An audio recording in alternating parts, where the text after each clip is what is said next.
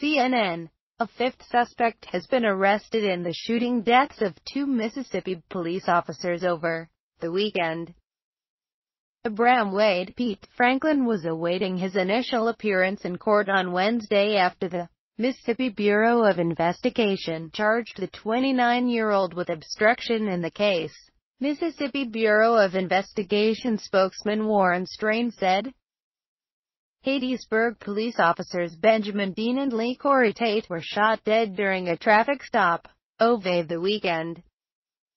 Of the five suspects charged, just one is accused of pulling the trigger.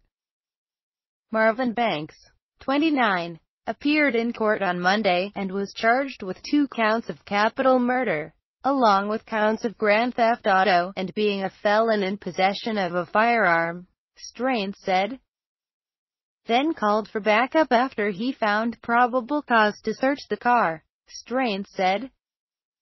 Shots were fired at some point after Tate, 24, arrived at the scene to help, he said.